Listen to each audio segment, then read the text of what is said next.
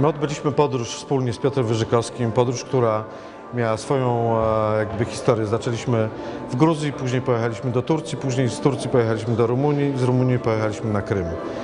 Natomiast wystawa nie jest pokazywana chronologicznie. Chcieliśmy jak gdyby zburzyć ten cały nasz e, pierwotny wyjazd po to, żeby skontrastować ze sobą zupełnie inne światy.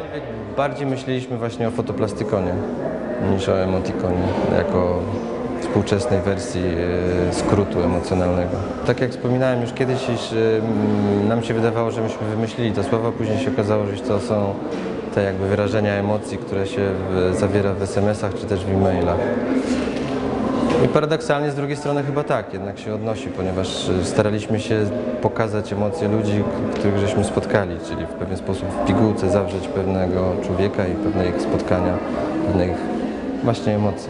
Zaczynamy od bardzo, wydawałoby się, sytuacji wesołej, związanej z tym, że w Rumunii gościł nas Elvis Romano, jak sam twierdzi, wcielenie Elvisa Presleya, ale okazało się, że to wszystko nie jest takie wesołe.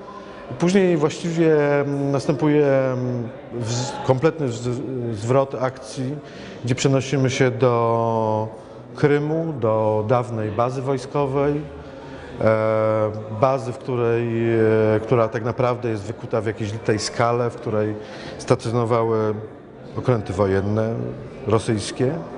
I tam spotkaliśmy Tatarów krymskich, ale tą opowieść z Krymu przerywamy zupełnie inną opowieścią, którą spotkaliśmy w Turcji.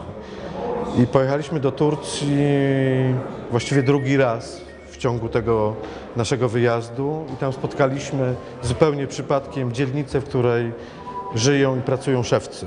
Ale szewcy to znaczy tacy ludzie, którzy wytwarzają jak gdyby buty e, i z drugiej strony mm, są to jak gdyby takie sytuacje, które w jakiś sposób, na które trafiliśmy przypadkiem.